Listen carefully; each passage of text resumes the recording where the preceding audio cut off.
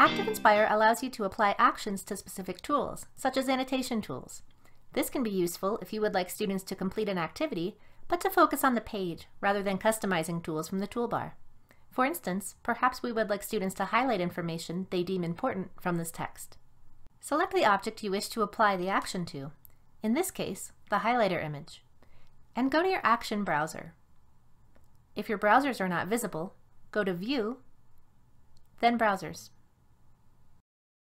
Before applying an annotation tool, you may customize its color and width from your toolbar.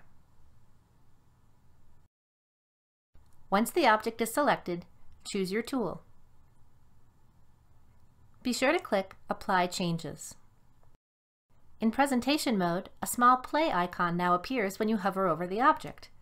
Click it to enable the tool. Even with the toolbar rolled up, students may use the highlighter.